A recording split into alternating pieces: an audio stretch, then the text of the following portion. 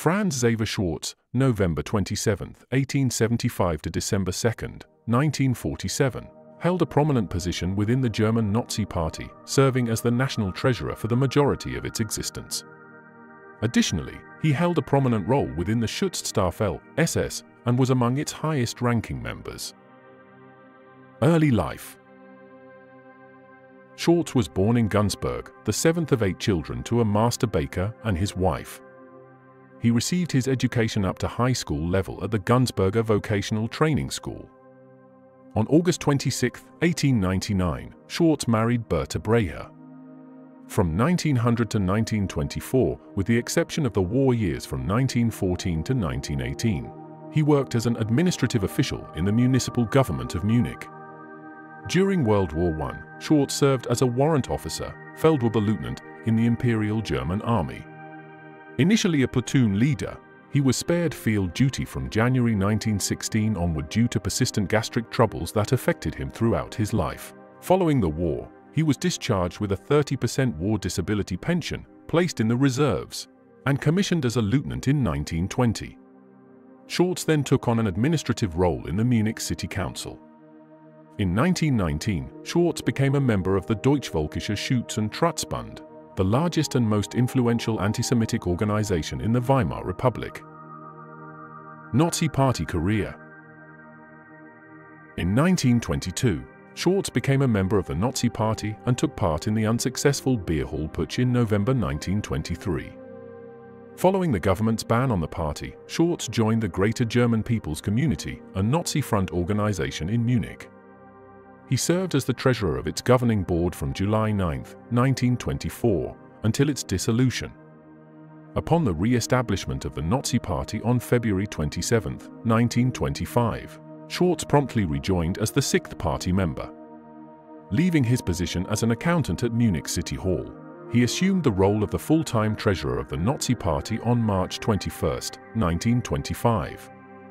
Schwarz played a crucial role in rebuilding the party's financial and administrative functions, including raising funds for the publication of Adolf Hitler's book, Mein Kampf.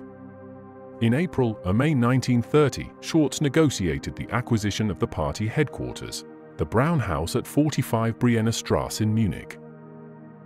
From December 1929 to October 1934, Schwarz served as a city councillor in Munich. Starting on September 16, 1931, Hitler granted Schwarz plenipotentiary powers over all financial matters of the Nazi Party.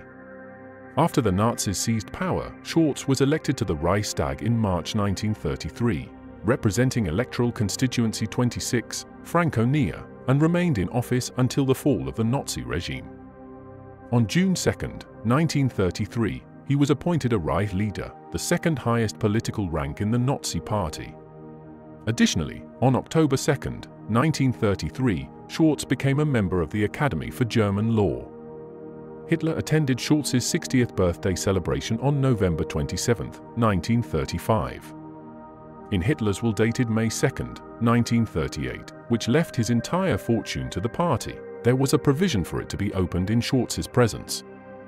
In addition to overseeing the party treasury, primarily funded by membership dues, Schwarz was responsible for the allocation of unique membership numbers within the NSDAP. The numbers were not reused if members died or ceased payment, resulting in the assignment of new numbers for rejoining members. Schwarz, recognized as a proficient administrator, generally stayed out of party politics. SA and SS membership On December 18, 1931, Schwarz was appointed as a Gruppenführer in the Sturmabteilung, SA, the paramilitary organization of the Nazi Party. In June 1932, he joined the Schutzstaffel SS with the rank of Gruppenführer and was assigned SS member number 38500. On July 1, 1933, he was promoted to the rank of SS Obergruppenführer. Subsequently, on November 9, 1933, his SA rank was elevated to Obergruppenführer. Finally, on April 20, 1942, he achieved the newly established rank of SS Oberstgruppenführer, a distinction held by only four individuals in history. On June 5, 1944, Schwarz was honored with the War Merit Cross, first class with swords, Kriegsverdienst Kreuz 1. Class MIT Schwerten by Hitler for his contributions during the Munich air raids on April 24 to 25 of that year. Additionally, Schwarz led a Volkssturm battalion in Grunwald towards the end of the war. Following the war, he was apprehended by the Americans and interned at Camp Ashcan. Death Schwarz passed away in a different Allied internment camp near Regensburg on December 2, 1947, at the age of 72, succumbing to persistent gastric troubles. In September 1948, the Munich Denazification Court posthumously categorized Schwarz as a major offender, leading to the confiscation of all his assets. Thank you for watching, and if you enjoyed this video, please subscribe and share it. Your support is greatly appreciated, and you can find details on how to support my channels through PayPal and Patreon in the description box below.